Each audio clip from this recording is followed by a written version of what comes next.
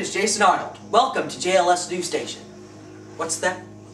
Today's top story is an interview with Sydney Neuzil, a volunteer helping to end deforestation.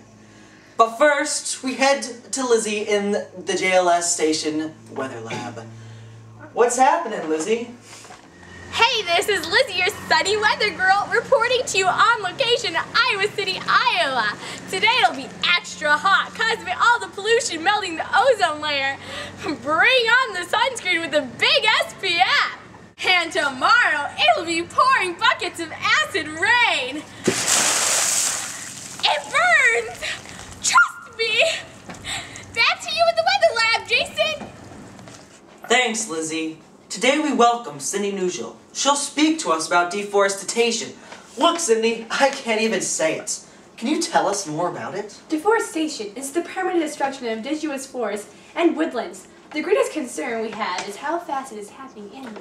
How does this impact the residents of America and our future generations? It is ruining the carbon cycle, which means it is not taking in any carbon dioxide and they are not producing any oxygen, which is the thought of the reasons of, for global warming and the greenhouse effect. Deforestation also has to do with extinction of species.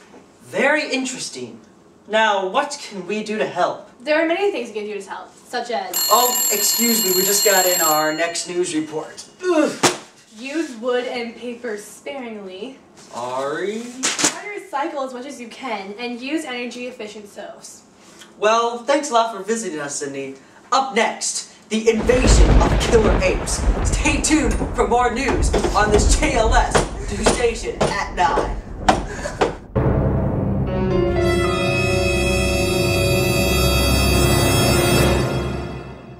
For Jason. No, ah. no, just keep it on. I'll just keep it.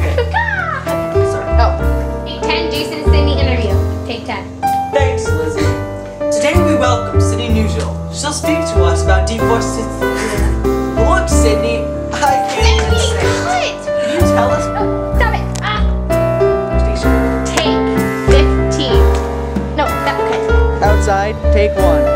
Hey, no, don't. don't. Lizzy, take two. Outside, action. Hey, this is your sunny weather girl, Lizzy Shropp, here in the weather lab.